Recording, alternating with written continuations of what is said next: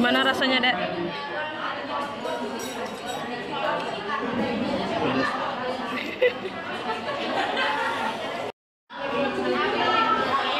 Ya. Baru level 3. Yuk.